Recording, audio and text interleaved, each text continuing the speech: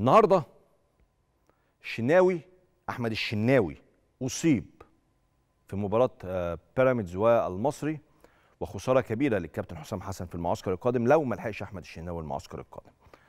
وإن كان مصطفى شوبير متألق جدا محمد الشناوي راجع والدنيا في حراسة المرمى ما تقلقش قوي ما تقلقش قوي إن شاء الله بالنسبة للكابتن حسام حسن.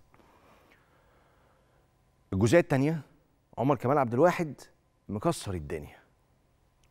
وعند رأيي الكابتن حسام حسن له كل كل الحرية في اختياراته.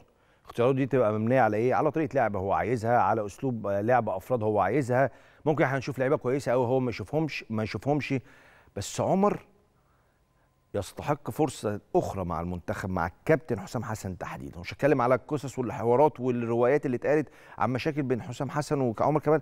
أنا عارف إن حسام حسن مع حفظ الألقاب طبعا للاسم الكبير مش هيحط الخلافات الشخصية دي ابدا أو حتى الأفكار دي لو موجودة بالمناسبة لو موجودة عشان هي ما تبقاش موجودة أصلا مش هيحطها في اعتباراته وهو بيختار أسماء لمنتخب مصر.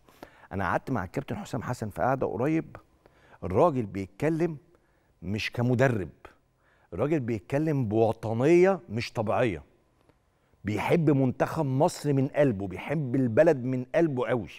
فأنا متأكد ده ينطبق على عمر وعلى محمد صلاح وعلى أي لاعب الناس بتحاول تصور إنه في خلافات. هو هيتخطى كل ده وأنا واثق في الكابتن حسام حسن. إن شاء الله يعني.